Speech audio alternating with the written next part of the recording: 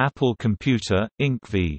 Franklin Computer Corp. 714 F2D 1240 3D Circle 1983, was the first time an appellate-level court in the United States held that a computer's operating system could be protected by copyright.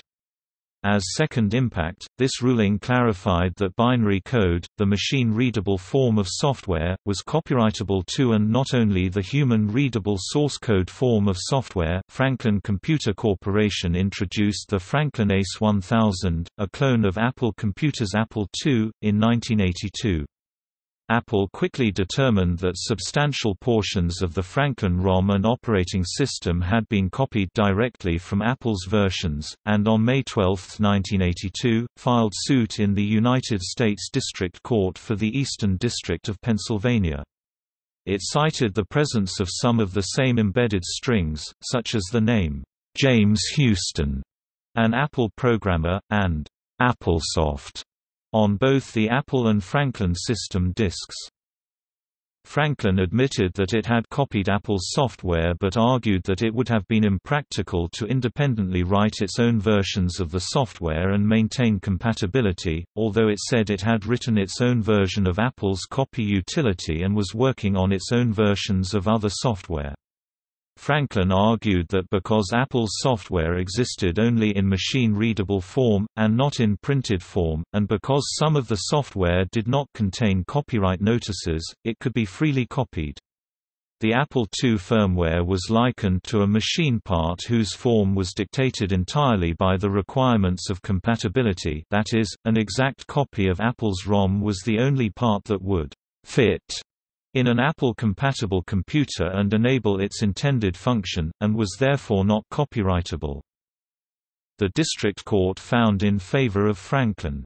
However, Apple appealed the ruling to the United States Court of Appeals for the Third Circuit which, in a separate case decided three days after Franklin won at the lower level, determined that both a program existing only in a written form unreadable to humans e.g. object code and one embedded on a ROM were protected by copyright. See Williams-Elec, Inc. v.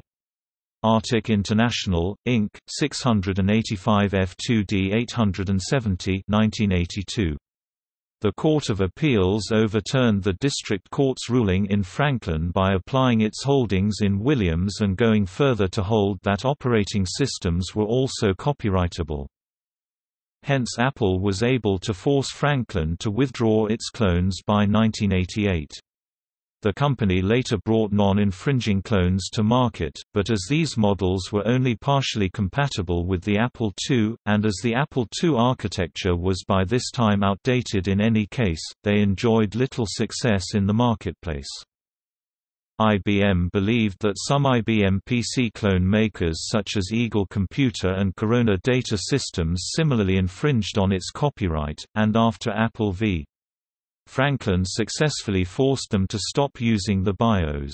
The Phoenix BIOS in 1984, however, and similar products such as AMI BIOS, permitted computer makers to legally build essentially 100% PC-compatible clones without having to reverse engineer the PC BIOS themselves. Another impact of the decision was the rise of the shrink-wrap proprietary software commercial business model, where before a source code-driven software distribution schema dominated.